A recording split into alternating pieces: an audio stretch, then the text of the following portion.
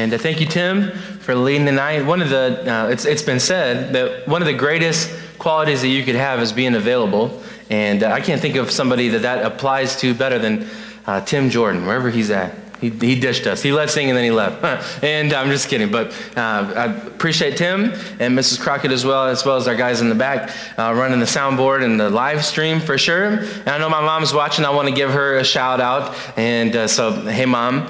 And uh, I, I do want to kind of preface our, my message tonight uh, by saying this thank you uh, my church our church uh, you all are so generous uh, pastor put out the the bat signal, so to speak, a couple weeks ago about our uh, renovations down in the teen center, and um, uh, and you guys came through just above and beyond even what we were were asking for, what we thought it would cost, and uh, it, it's amazing. It just in a matter of just a couple days, uh, we had all the money that, that I think we're going to need and uh, and or want really. I mean that's including decorations and and getting it all decked out. I do want to give uh, a shout out to uh, Brother Ronnie Moore, and he hates that that I said his name, but um, but I so appreciate him and just the yeah, please please give him a hand. Just the the hundreds, literally hundreds of hours that he's spent down in the teen center and it, it already i mean it's half tore apart and it already looks better than it did before right and so it's plywood floors in half of it but it's already better and so uh, but I, I appreciate him just so much and him working with me um, um, and, and when I say that, working around me because I feel like I get in his way a lot, but I appreciate him for sure. And, uh, and, and of course, Pastor and, uh, and our church's heart for young people is really inspiring. It's a really great thing. And so just th- thank you from uh, your youth pastor. Thank you so much. Uh, for, for your heart for our young people. And we really do have a good group. You kind of saw it in our video that we played uh, this morning. They're, they're so much fun. And that group yesterday just happened to be uh, a lot of our younger uh, a lot of our younger crew, not a, a, lot of our high schoolers were able to come with, you know, they all got jobs now, and, uh, and it's hard for them to get off on, on Saturdays. But um, so it ended up being a lot of our sixth or eighth grade and, and a couple ninth graders. And I just, I so enjoyed their attitudes, and everybody just had a wonderful spirit.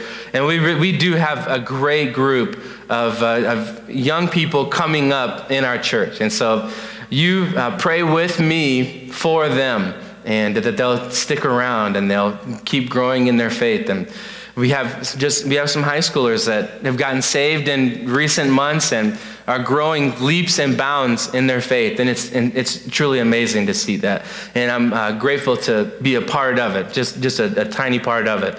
And uh, so we're going to talk about that. It's kind of a youth Sunday today with uh, Brother Kevin uh, preaching this morning. Obviously, he, uh, he helps our church and many other churches um, with with curriculum and, and, with programming and everything else. And, uh, and, and, he's been a, a, big help to me, but it was kind of a youth themed uh, service this morning, and it's going to be that way tonight as well, uh, because that is my heart uh, as young people. And you know, it's, it's funny just to be transparent with you. There was a time, really not that long ago, just maybe a year ago, uh, while we've been here, where I was thinking maybe there's, uh, you know, maybe my time in youth ministry uh, is not as long as I as I thought it would be originally when we came out here. Maybe there was going to be an, a kind of an off ramp where I could do uh, some other things here at the church. But the more that, that I do it and the, the more that we're here and, and, and, and working with the young people, I just keep thinking, well, maybe I got another 20, 30 years uh, doing this. And,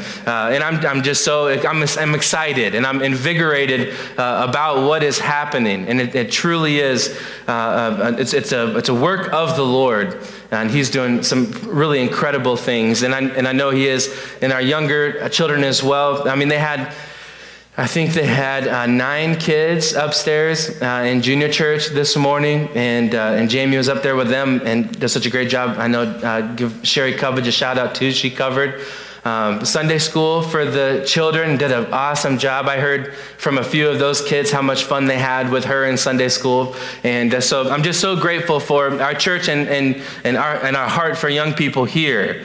And so if you'll allow me, I, I want to share with you kind of the state of uh, the youth, state of the youth group, uh, so to speak. I want to give you just some practical wisdom. I understand that a lot of us in this room really don't have teenagers anymore, or maybe you have grandkids that are teenagers, and uh, or, or you, but all of us, most likely all of us, directly influence teenagers or you influence someone who has teenagers, right? So I want to uh, help you, give you some practical wisdom from the Bible. And I don't claim to be a child rearing expert in my three and a half years of being a parent, right? I'm, I'm not an expert at all. And, uh, I, I, love being a parent and I enjoy it and, and, I'm excited about it. I, And I have been in youth ministry for going on 10 years now. And I have seen in the last few years some trends uh, in our culture, in our society, and I want to point those out to you and maybe share with you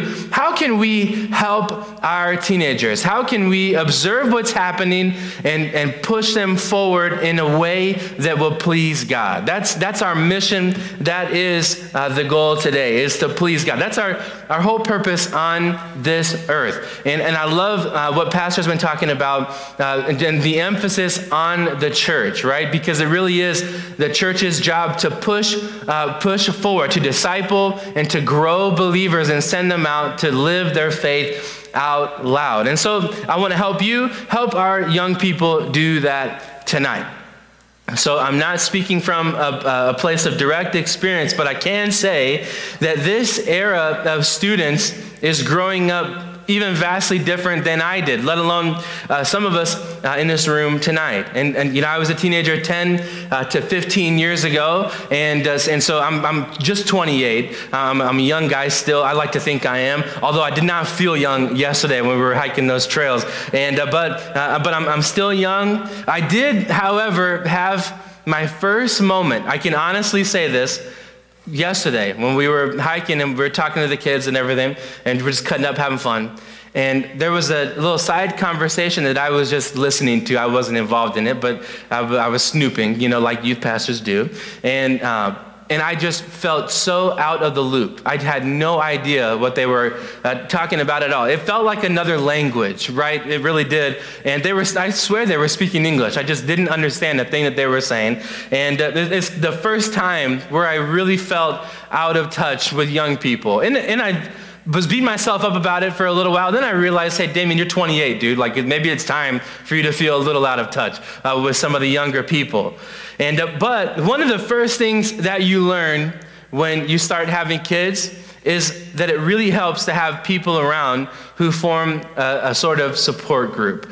And uh, we can all speak from experience probably on that. That it helps to have family. And I was, uh, I've been blessed every step of the way in our, uh, in our parenting years so far to have my parents close by, uh, to have uh, my in laws close by, or, uh, uh, or, whoever, even, even friends who formed a support group around us and, and helped us uh, be better parents. And I would like to be a part of your support system, helping your kids. I, I just want to be a small part. And um, I, Jack Hyles used to say all the time, he said, I don't have to be your favorite preacher, but I just want to be on the list somewhere, right? And so I don't have to be your favorite, uh, uh, your favorite adult, your kid's favorite adult, but I want to be on the list somewhere. I want them to, to, to feel like they can come uh, to us uh, for help. And I just want to share a few points this evening on the state of the youth.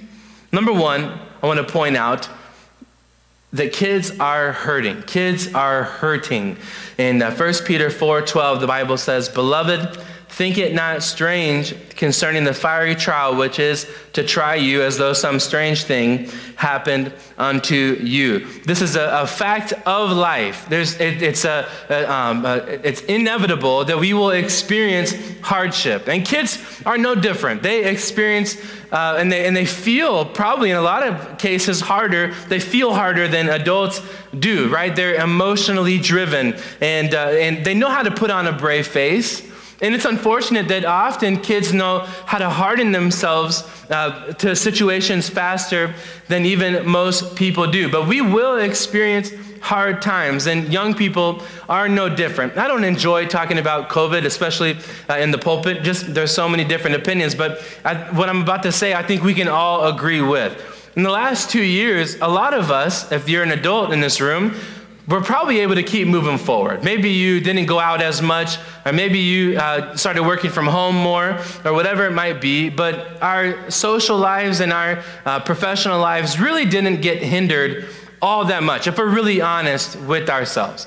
And so, uh, but if you think about, uh, uh, if you think about our kids, right? Really, for the most part, we locked them in the house for a year, and they didn't have structure of a normal school day. Now, they didn't see uh, their friends or interact in social settings for the most part, and and and I, and I would never count uh, digitally connecting as actual real life connection. Okay, phones, social media does not count for a social, for a social life. It, it, it, doesn't count. As much as you would say that to a young person, they would say, well, of course it does. Well, of course it does not. And it is not the same, just like uh, virtual church is not the same as coming to church. Uh, being in your place on, uh, on a Sunday, on a Wednesday, whatever, whenever we meet, uh, virtual church is not the same as meeting in person.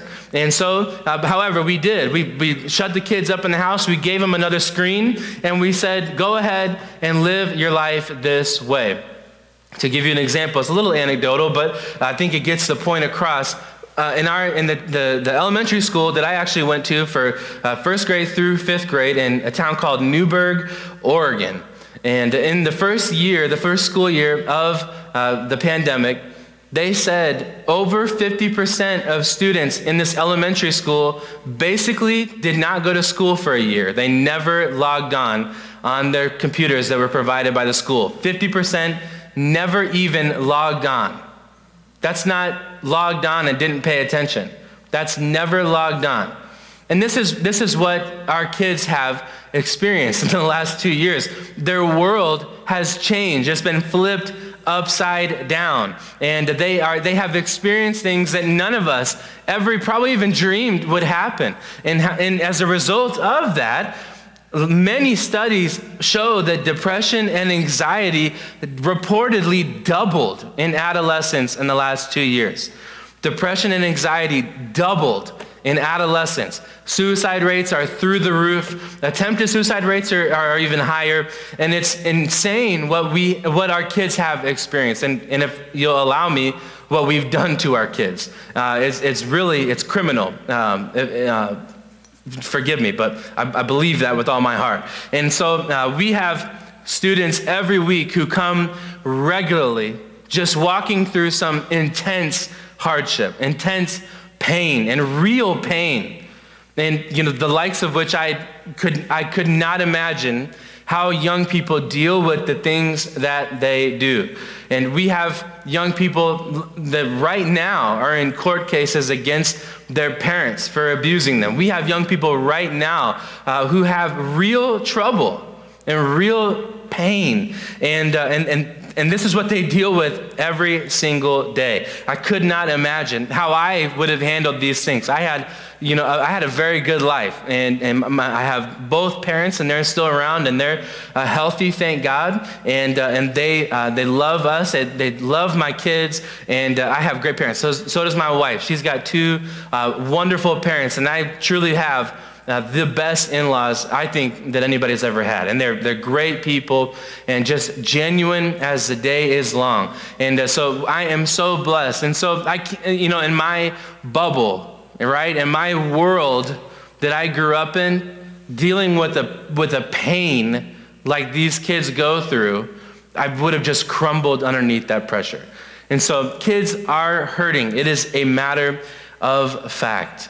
My prayer for these kids dealing with the suffering is that they can find the strength to be like the Hebrew boys in Daniel, in, in the book of Daniel. Remember their story. They were dragged uh, from their homes and taken to a foreign country. And they were, they were put, this is kind of a point of this story that really we don't talk about as much as we should. And that's the conflicting position that uh, Daniel, Shadrach, Meshach, and Abednego were put into in Babylon.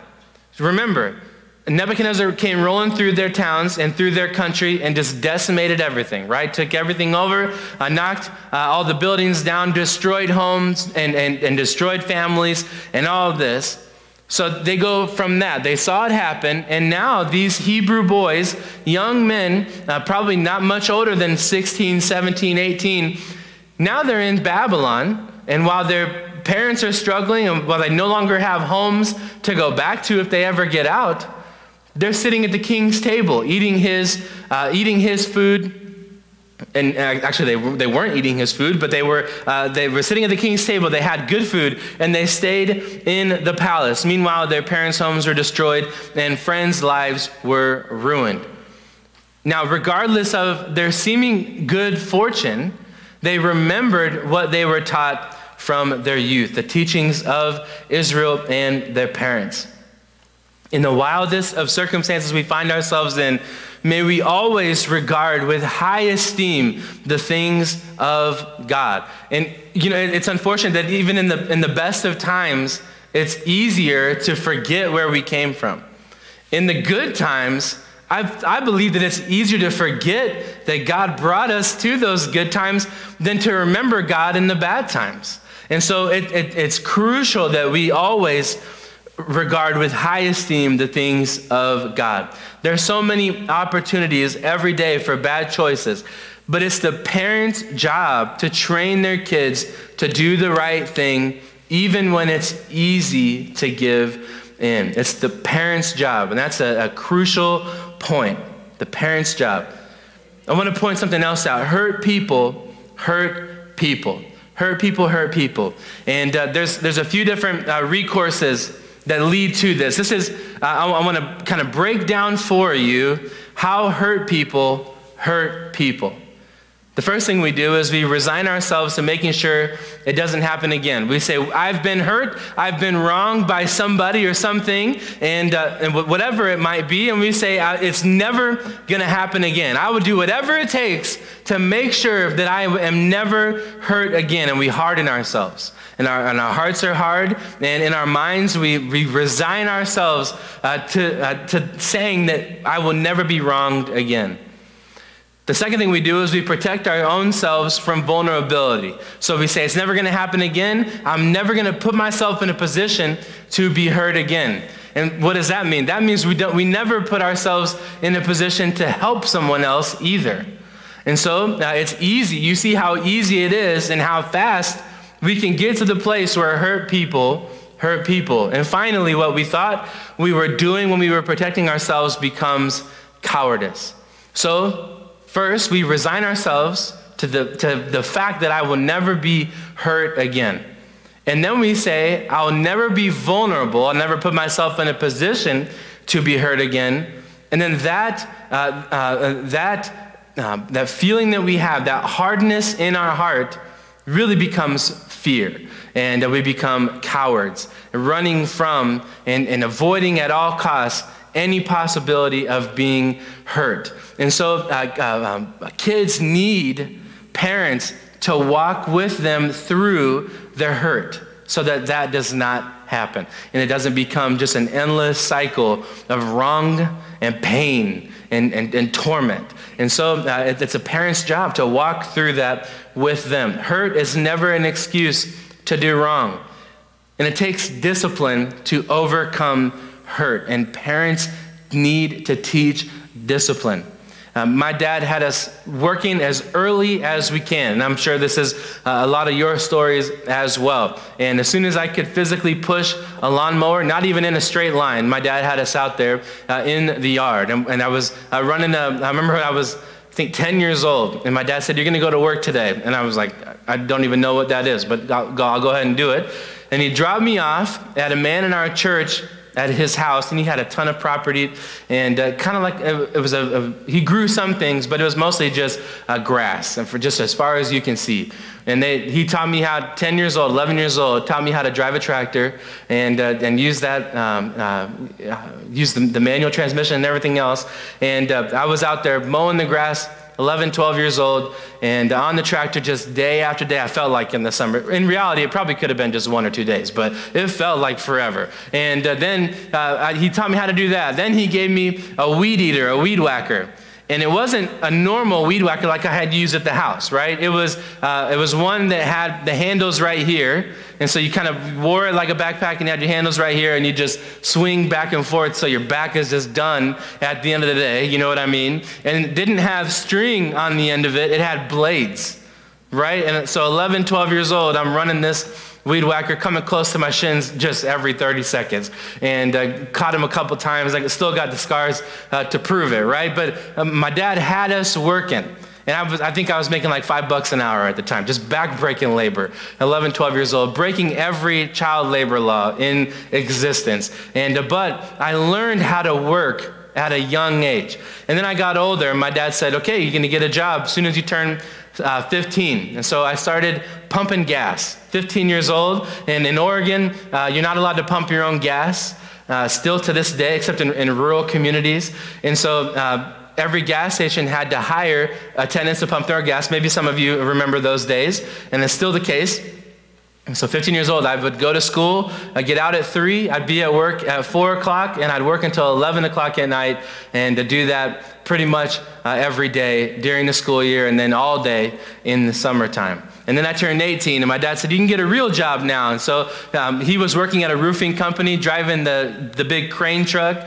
And uh, he said, "Go get up on that roof, and uh, you're going to learn how you're going to learn how to do man uh, man's labor, manual labor." And uh, so I was tearing off old roofs, helping put new ones on, and doing real work. And it's so important that we teach our kids discipline. We need our parents to lead us uh, through, lead us through hurt and, and instill discipline into our lives. We need, that's what parents, that's their job. That's their job. Number, so number one is that kids are hurting. They have real pain, and we shouldn't uh, write it off right? We shouldn't just, uh, uh, you know, acknowledge and, and just leave, right? We need to walk with our kids through hurt. Number two, and maybe the most important point tonight, is that kids need authority. They need authority. Paul, amen, amen on that one. Paul is uh, dealing with the family in Colossians 1, verses 17 through 21, verses that you'll recognize, but I'll just read one for sake of time. The Bible says, Children, obey your parents in all things, for this is well pleasing unto the Lord.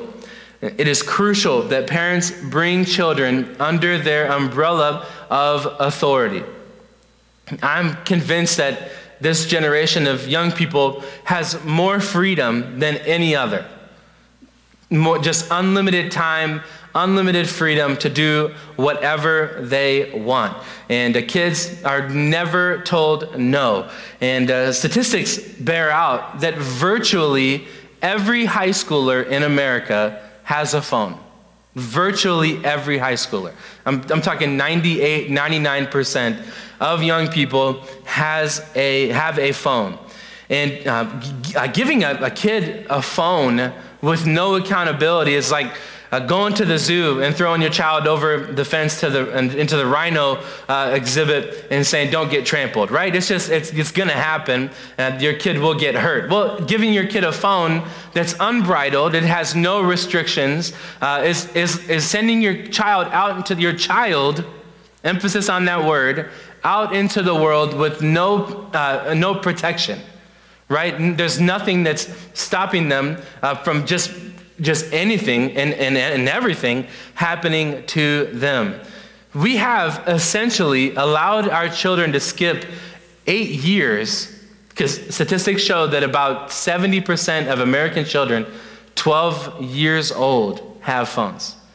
We've allowed our children to skip six to eight years of their childhood and enter this kind of like quasi adult uh, uh, status with rules like go to school, but also do whatever you want, right? And it's a shame. We are hurting our kids. And it's, it's tantamount to child abuse at the end of the day. Not caring for our kids is neglect, which is abuse. Okay? And so allowing our children to have unbridled freedom is destroying a generation of children. It, it, it is insane. Uh, the uh, opinions that children have. I've had, I can't even tell you how many parents I've had that have strong uh, Christian worldview and beliefs and, and strong, even, uh, and it, it, stems down the line to uh, political beliefs, and it's just an ideology, a way they live their lives. And parents have one set, and then their child has a completely different set.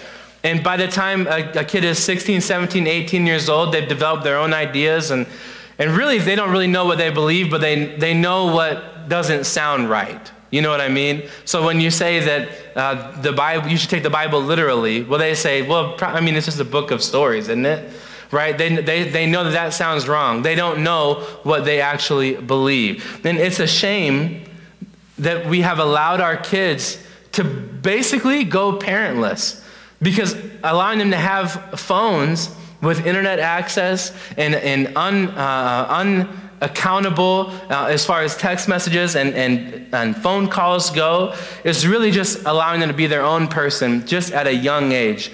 And it is it, it's just amazing the trouble that kids can get in.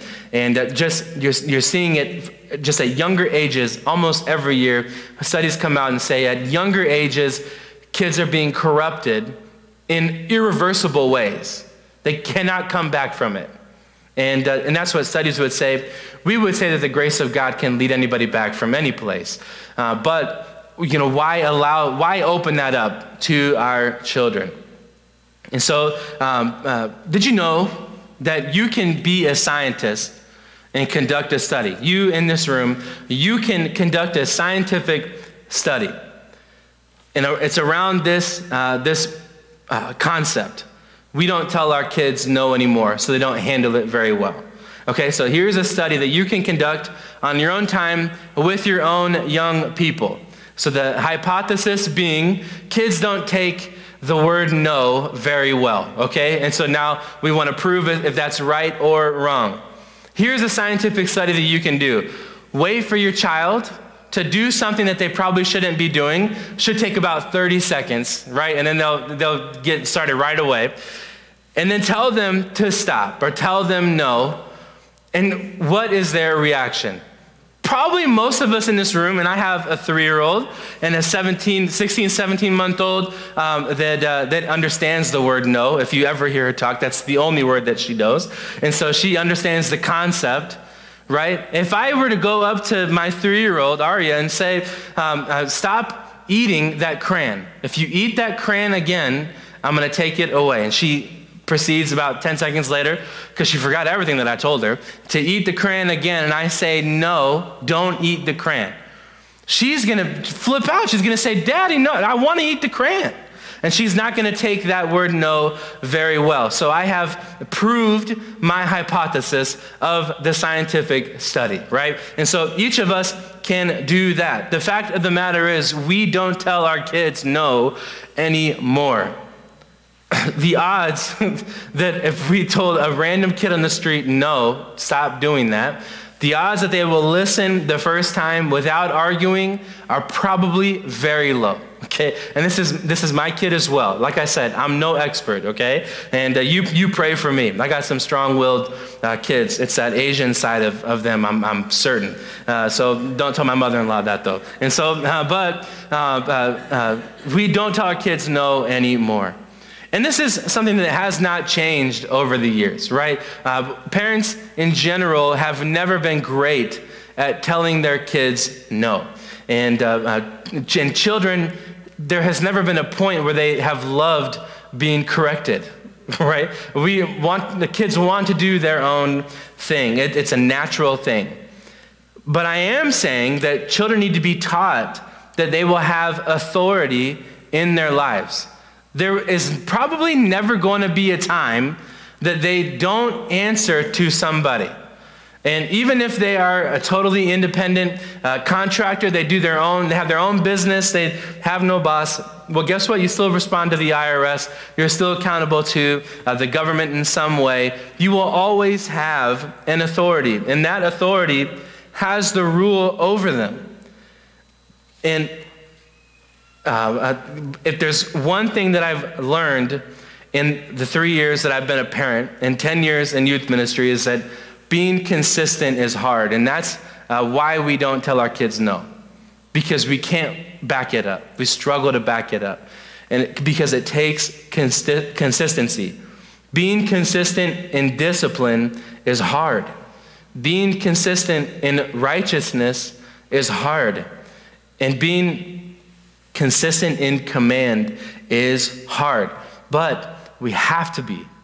We have to be consistent. We fail our kids when we don't tell them no. We fail our kids uh, when we are not consistent. And so we need, it's, it's crucial that we teach our kids you will have authority in your life. Here's how you handle them. And that's, uh, that's a job of a parent to walk with their kids through that time. Through that time when they're teenagers and they don't want to listen to their teachers, uh, when they don't want to listen to their parents. Uh, we are, are, are gentle but consistent and firm in how we do things.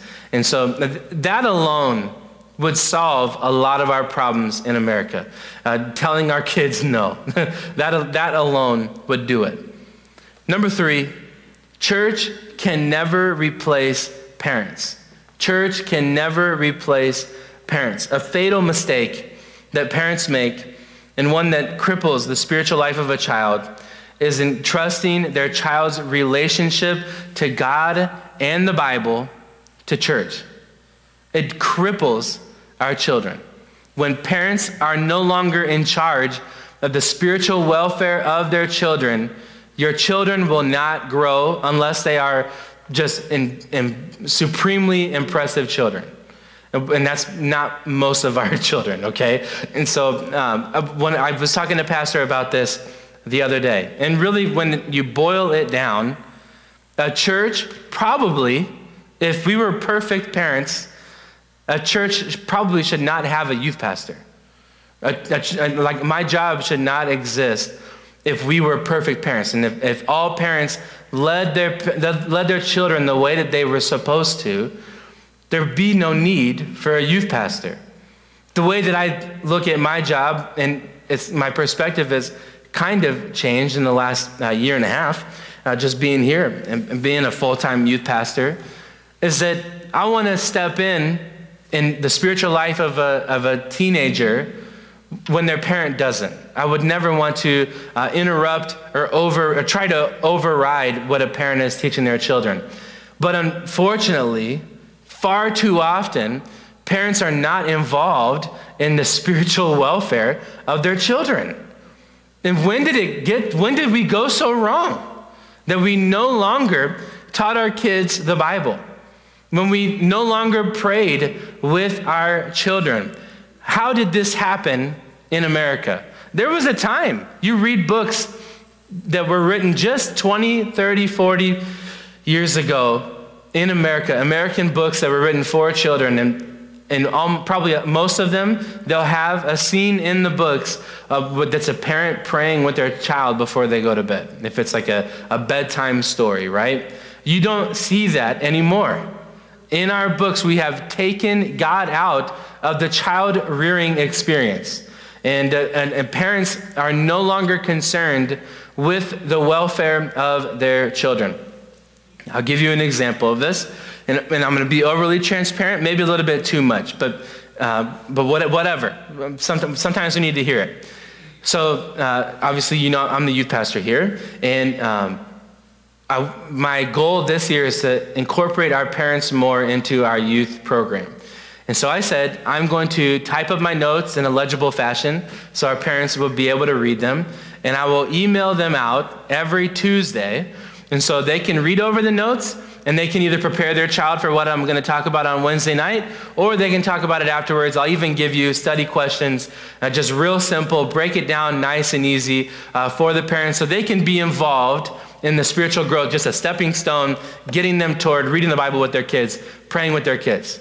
And I thought that, I thought, I thought that was a wonderful idea. And, and, I, and I hope that parents would jump all over it.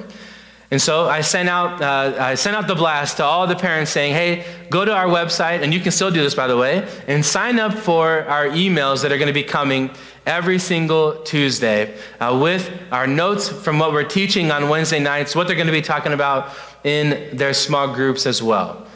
And, uh, and I waited. And this was uh, Thursday, and then uh, Tuesday I was going to be sending out the email. Well, I checked my list that I was going to be sending the email out on Tuesday, and all of four people had signed up, four parents had signed up for our uh, email blast that were going to go out on Tuesday, and I was two of them. Okay? So uh, this, is, this is an indicator of how involved we are with our young people. And now, I don't mean to put all of our parents on blast. We have some really great parents that truly do care. However, we have handed off the spiritual growth of our young people to the church. And it was never intended to be that way. It was always supposed to be the parents training their children up in the way they should go. Proverbs 22 and verse number uh, 6, I believe. And when they are old, they will not depart from it. And so it was never the church's responsibility to train their kids up. Now, the church has stepped up in some ways and to try to uh, uh, supplement. Uh, however, that does, that does not take the responsibility off of the parents. And so uh, um, I, I wish I could tell you how many times I've heard someone say, well, they get taught the Bible in church. Their youth pastor would show them how to live for God. That is completely backwards, and it's never been uh, the design of God for a youth pastor, for, uh, for the church to be responsible for spiritually training our young people. It has always been the parents' responsibility. Always. And that has never changed. The Bible uh, has not been updated to say that it is the youth pastor's job to teach kids the Bible. I have, uh, I have these kids for two hours, and some of them, if I'm lucky, three hours a week, and that is not enough to raise adequate Christians. It's not. It's not enough, and it is unfortunate. We need a revival of parents who will raise their kids spiritually. Proverbs 19, 18. I love the wording of this verse. Solomon says, Chasten thy son while there is hope. Chasten thy son while there is hope. There is a window of time that we have to raise our kids. And this is, uh, this is emotionally, mentally, physically, and also spiritually. There is only, uh, there, there's not an endless amount of time that we have to properly raise our children. And a lot of you know this from your own experience raising kids that are adults now, and maybe some even have families of their own. That time is fleeting, it's short, and there's nothing we can do about it. In the time that we have our children, we, we need to discipline, to chasten them. And uh, we can't allow our own feelings to intrude on the command to discipline our children. The more I'm a parent, the, the more I see this truth is that it's easy from it's easier a lot of times for me to pity or to empathize or even to just plain get tired of disciplining, right? There's only so many times that you can spank a kid uh, before you start to think, well, they're probably going to be like bruised by now, right? Like there's only so much that I can spank my, my child. However, we cannot give up on disciplining our child. We have a, a limited amount of time. It is crucial that we take advantage of it. Uh, chasten thy son while there is hope, and let not thy soul spare for his crying. When uh, your child is, is bucking against uh, what you're trying to teach them, and they have no, uh, you don't see a desire for them to even learn or grow from your discipline. We cannot give up. We need to train our kids. Now, I hope I haven't come across as negative toward children. That was not my goal. Uh, and I, I, I, said in the beginning, I love young people, and, and, I, and I'm privileged to have the opportunity to work with them. And teens, in, and teens in particular, that's, that's kind of my world, they have a ton of positive character traits, just innate. And society has given them um, uh, certain things that, used in the right way, can really push them uh, in, to do amazing things. Uh, teens generally are passionate and they're forward thinkers and, uh, and they care deeply about injustice and, and righting wrongs. Uh, kids have a lot of uh, really just natural, innate things and, and things that society teaches them that if we can harness them and point them in the right direction, they can do amazing things. There's so much potential in our young people. And I know you know this, and I, I truly believe that. And they, uh, teenagers uh, generally are very authentic, and, uh, and, and, and, they're just, they're real people. And, uh, and it's a wonderful thing. However, we do them a disservice by neglecting discipline and our own authority. And so, like I said in the, in the beginning, maybe some of us in here, we don't have uh, teenagers anymore, and our teenagers are all grown and have kids of their own. And so uh, maybe this wasn't directly for you, but all of us influence uh, the next generation at some level. So let me challenge you, encourage you to teach our kids discipline that they will have authority over uh, them their entire life. Teach them how to say, uh, teach them how to accept no for an answer. And then also understand that kids need our help walking through their hurt. Let's pray. Heavenly Father, we're so grateful to you for what you've done for us. And I pray that we take this challenge tonight and that we would help a young person as they deal with pain and, and with trials. God, I pray that you would help us to uh, teach young people that they will have authority in their lives. And God, I pray that you would help us uh, to uh, lead our kids spiritually, not pass it off onto somebody else, but that we would take responsibility for how they mature.